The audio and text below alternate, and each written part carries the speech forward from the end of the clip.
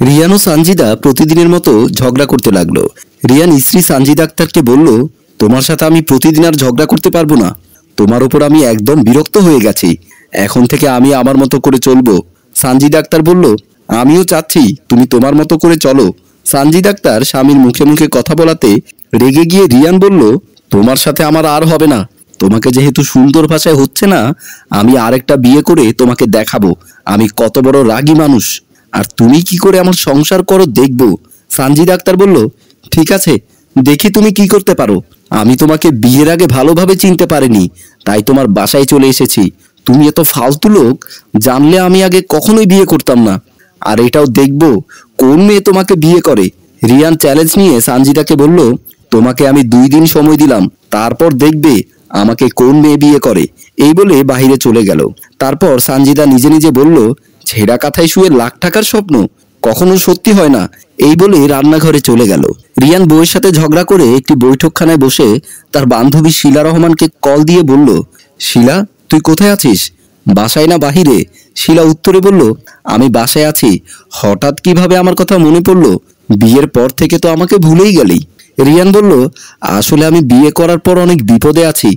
না পারছি মরে যেতে, না পারছি বেঁচে থাকতে। আমার এমন অবস্থায় তোর কিন্তু বাঁচাতে হবে আমার সংসারটা। শিলা বলল, কি?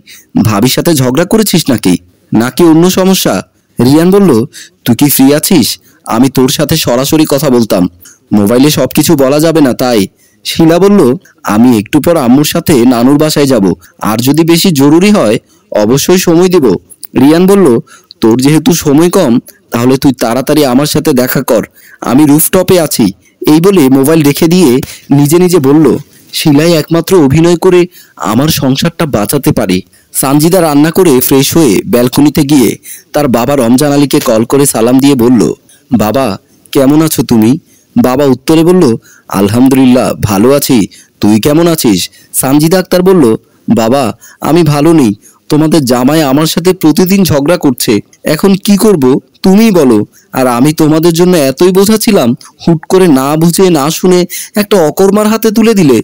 সানজিদার বাবা বলল, এখন তোর উপরে আমার কোনো দায়িত্ব নেই। তাছাড়া তোর জামাই খুব ভালো ছেলে, আমি জানি। ও যদি কোনো কিছুতে গরম হয়, অবশ্য তোর মাথা ঠান্ডা রাখতে হবে।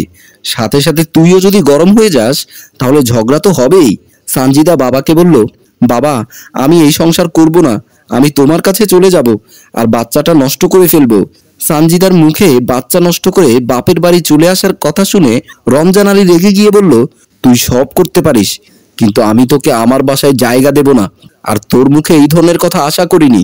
আজকের পর থেকে তোদের ঝামেলা নিয়ে আমাকে আর কল দিবি না। তুই যদি ভালোভাবে চলিস, তাহলে আমি নিজ থেকে ওর বিচার করব। আগে তুই ভালো হ। সানজিদা বাবার উপর রেগে গিয়ে মোবাইল রেখে দিয়ে রুমে চলে আসলো। রিয়ান ছাদের রেলিং এর পাশে দাঁড়িয়ে আছে। শিলা রহমান গিয়ে রিয়ানকে বলল, আমি বাসায় কাজ ফেলে চলে এসেছি, তোর কথা শোনার জন্য। রিয়ান খুশি হয়ে শিলাকে ধন্যবাদ দিয়ে বলল, আমি জানতাম তুই আমার বিপদে কাজকর্ম ফেলে চলে আসবি, তাহলে আসল কথা শুরু করি। শিলা বলল, যা বলবি সংক্ষেপে বলবি, কারণ আমার অনেক তাড়া আছে। রিয়ান বলল, তুই আমার সাথে বাসায় গিয়ে তোর ভাবির সামনে অভিনয় করবি, আমার বউ সেজে। শিলা বলল, রিয়ান, দেখ আমি তোর ভালো বান্ধবী, আর বান্ধবী হয়ে এসব আমি করতে পারব না।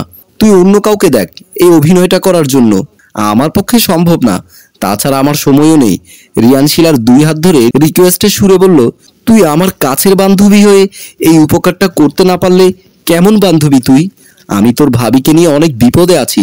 ও সব সময় আমার মুখে মুখে তর্ক বিতর্ক করে, যা আমি সহ্য করতে পারি না। আর আমি ওর সাথে ঝগড়া করে বলে এসেছি, দুই দিনের মধ্যে বিয়ে করে দেখাবো। আর তুই তো জানিস, আমি সানজিদাকে অনেক ভালোবাসি। তাছাড়া রাগের মাথায় যদি ওকে ছেড়ে দেই, তাহলে আমি নিজেকে নিজে ধ্বংস করে দেব। এই দুনিয়াতে থাকব না। শিলা বন্ধুর কষ্ট দেখে আশ্বাস দিয়ে বলল, ঠিক আছে, এখন কি করতে হবে বল। আর মাকে বলে দিতে হবে, নানুর বাসায় কয়েকদিন পরে যাব। শিলা রাজি হওয়াতে রিয়ান খুশি হয়ে বলল, ঠিক আছে, চল, হাঁটতে হাঁটতে আমি সব বলে দেব। এই বলে দুজনে রিয়ানের বাসার উদ্দেশ্যে গেল। সানজি ডাক্তার বিছানায় বসে পেটে থাকা বাচ্চার কথা চিন্তা করতে করতে নিজে নিজে বলল, বাবা তো ঠিক কথাই বলেছে, এই মাসুম বাচ্চাটার তো কোনো দোষ নেই। শুধু শুধু তাকে কেন হত্যা করে আমি বাপের বাড়ি যাব? এই সময় রিয়ান শিলাকে বউ করে তার বাসায় নিয়ে আসলো। সানজিদা তার স্বামী ও সাথে থাকা মেয়েটিকে দেখে অবাক হয়ে গেল। তারপর রিয়ান তার স্ত্রী সানজিদাকে বলল, আজকে থেকে তুমি ওই রুমে গিয়ে শোবে। এই রুমে আমিও আমার নবাগত স্ত্রী শোবো। শিলা মুখ ভেঙচে দিয়ে রিয়ানকে বলল আমি এই নোংরা রুমে থাকতে পারব না। আমার জন্য নতুন করে সব কিনে নিয়ে আসো, তারপর এই রুমে থাকব। সানজিদা তারা দুজনের কথা শুনে অপমানিত হয়ে রিয়ানকে বলল, আমার সাথে ঝগড়া করে শেষ পর্যন্ত তুমি বিয়ে করে বউ বাসায় নিয়ে এসেছ? আর নতুন বউকে দিয়ে আমাকে অপমানও করছ? রিয়ান সানজিদাকে বলল, আমি সব কিছু সহ্য করতে পারি। স্ত্রী যখন স্বামীর মুখে মুখে কথা বলে, এইটা আমি সহ্য করতে পারি না। ছেলে মানুষ সংসারের জন্য মাথার ঘাম পায়ে ফেলে রোজগার করে। শুধু বাসায় এসে বউ বাচ্চার হাসি দেখার জন্য। আর তুমি কি করো? সবসময় একটা ইস্যু নিয়ে পড়ে থাকো, ঝগড়া করার জন্য। এখন কার সাথে ঝগড়া করবে? শিলা সানজিদার দিকে তাকিয়ে মুখ ভেঙচিয়ে বলল, এই নোংরা বাসায় আমি থাকতে পারব না। দরকার হলে প্রতি মাসে বাসা ভাড়া আমি দেব। তুমি বড় থেকে সুন্দর একটা বাসা ভাড়া করো। সব কিছু আমি বহন করব। রিয়ান শিলাকে বলল ঠিক আছে, চলো। বলতেই সানজিদা রিয়ানের পা ধরে ক্ষমা চেয়ে কান্না করতে করতে বলল, প্লিজ আমাকে ক্ষমা করে দাও। আমি ভুল করে তোমার মুখে মুখে কথা বলেছি। না বুঝে, না শুনে তোমাকে অনেক গালাগালিও দিয়েছি। কসম কেটে বলছি, আজকের পর থেকে আমি বিনয়ের সাথে কথা বলব। তোমার মুখে মুখে দূরের কথা, একটা বাচ্চা ছেলের সাথেও সুন্দর করে কথা বলব। প্লিজ, শেষবারের মতো আমাকে ক্ষমা করে দাও। শিলা রিয়ানকে বলল ভাবি যেহেতু নিজের ভুল নিজেই বুঝতে পারছে, এখন আর রাগ না দেখিয়ে ক্ষমা করে দে বন্ধু। রিয়ান বলল, ঠিক আছে, তুই যেহেতু বলছিস ক্ষমা করে দিলাম, কিন্তু নেক্সট টাইম আর সুযোগ দেওয়া যাবে না। সানজিদা শিলাকে বলল, আপনারা বিয়ে করেননি? শিলা বলল, রিয়ান আমার ছোটবেলার বন্ধু, ওকে কেন বিয়ে করব? আপনাকে একটু শিক্ষা দেওয়ার জন্য আমি ওর বউ সেজে এই অভিনয়টা করেছি। ঠিক আছে, এখন থেকে সুন্দর করে চলেন, সংসার যেন দীর্ঘস্থায়ী হয়। দোয়া রইল দুজনের জন্য। রিয়ান সানজিদাকে বলল, শিলার জন্য নাস্তা পানির ব্যবস্থা করো। সম্মানিত ভিউয়ার্স গল্পটি ভালো লাগলে শেয়ার এবং লাইক কমেন্ট করে জানাবেন। রচনায় আবু সাইদ রিয়ান, পরিচালনায় রেজাউল কবির চৌধুরী। সম্পাদনায় ভাগিনা মিজান।